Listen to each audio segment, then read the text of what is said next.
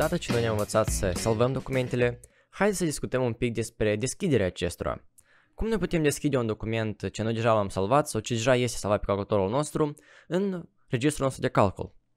Procedeile sunt semănătoare cu cele pentru salvare. În primul rând noi intrăm în uh, file noastră File și avem aici în loc de Save, Save as Open.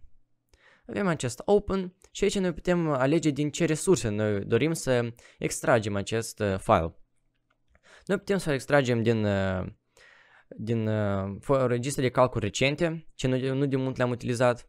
Putem din OneDrive, de pe cloud și putem din calculatorul nostru, din diverse din diverse locuri sau uh, diferite mape din calculatorul dumneavoastră.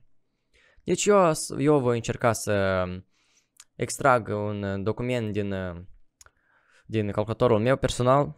Haideți să, să caut acum un document potrivit, de exemplu, hai să zicem exercise 02. 02.